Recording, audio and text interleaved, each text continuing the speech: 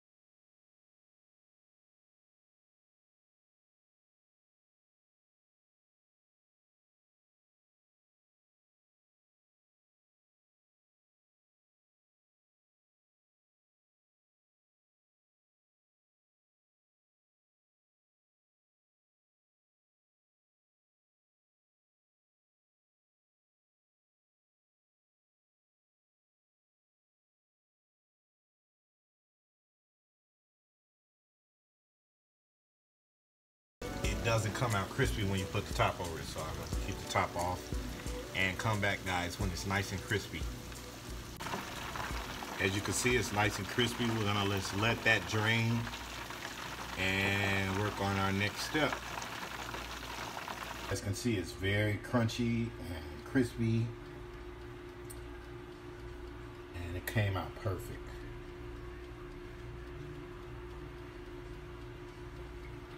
I'm gonna prep up a salad with this. I hope you guys enjoyed what you saw thus far. Please hit that like, share button.